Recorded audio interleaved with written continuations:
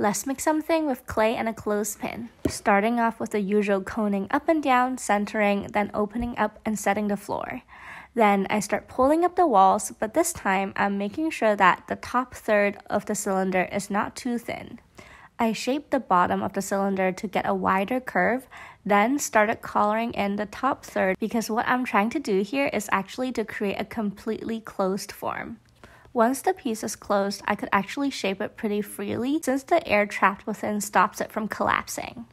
And here's where the clothespin comes in. I'm pushing it in to create a gallery and after it dried a bit, I will trim the top off and create a lidded jar. For now, it needs to dry but stay tuned for the next steps.